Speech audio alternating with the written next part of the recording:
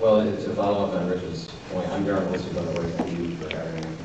When I was asked to uh, join you all for this conference, uh, and uh, told that I would be on a panel to discuss the music industry ethics, um, it, it, it- it was slightly amusing because oftentimes uh, uh, the music industry and ethics uh, goes to abstractions and share. Uh, Preparing for this was a uh, insightful experience because I actually realized that over the years, the attorneys I've worked with, it actually has been a very positive experience. I think that probably 90% of the uh, employment that exists in the entertainment business, at least in Los Angeles, is comprised of what I call uh, intermediate professionals, people that sort of act as a go-between between the artist and the opportunity. And they include attorneys, managers, agents, marketers, uh, publicists. um, And included in that group, uh, I have to say by and large, my, my work with attorneys has been uh, uh, positive and uh, really, they led to the most productive and beneficial opportunities. So that being said, anyone interested in pursuing entertainment law, your role is not trivial. Uh, It it can be very significant and has the ability to uh, benefit and profoundly affect uh, the artist that you're representing. As a a music industry attorney uh, representing an artist, you're sort of in a unique position because uh, you not only bring something to the table for your client, presumably the artist, but even for uh, the the company, or the film, or the other party. um, There's a certain comfort and confidence that will accompany your presence. And the reason for that is an artist will either decide to enter an agreement or not enter the agreement based on your, your advice and uh, presumably send uh, legal advice or representation. And, and the company at least has peace of mind knowing that the artist was well advised, so they're, they're cognizant of the details of that agreement. Any questions? Yeah, what do you want, lawyer?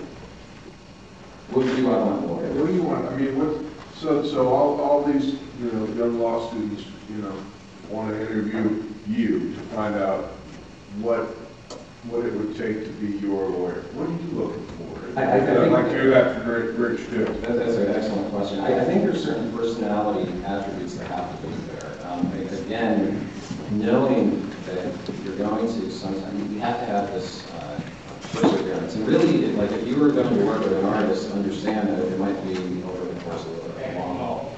Um, things, it's, it's not a quick fix. Um, there's, anyone who's worked in the entertainment business knows there will be moments of radar silence. And it can change in a heartbeat, and all of a sudden, something big out of nowhere uh, is on the table.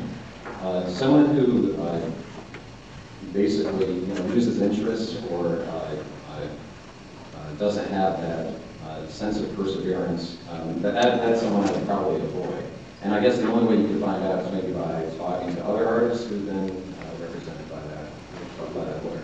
The other thing, I know with people I work with, uh, like, they're busy, right? And I don't waste their time, or I'm respectful of their time, I don't call them looking for career advice. Um, And one thing I like about attorneys is that, that they tend to call when there's a reason to call.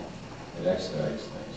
For example, when checks are sent, they tend to be accompanied by important documentation. One very important document is called a cue sheet, which basically is a uh, list of all the music uh, that's included or embedded in a, in a show.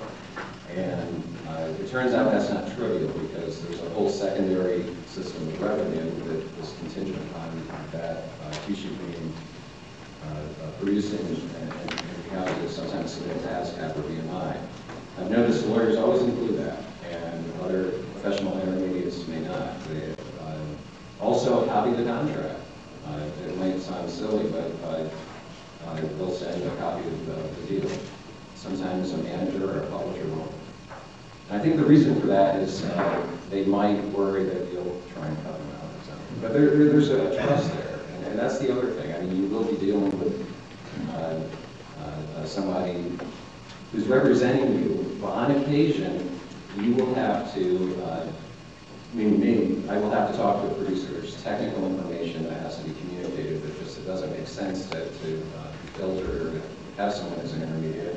because certain details will get lost in translation, so, uh, trust is also important. As the artist, you want to work with somebody that you feel uh, can exploit opportunity, and I'm sure from your point of view, you want an artist that you feel like uh, follow through and deliver. So it's a balance.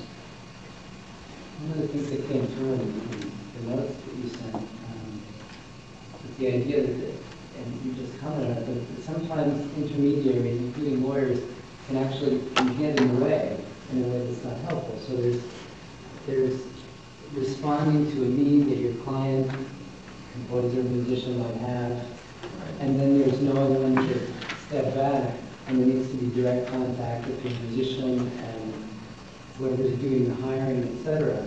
And so there has to be trust, but there also has to be knowledge of knowing when to step out. Without, without, Give an example of that.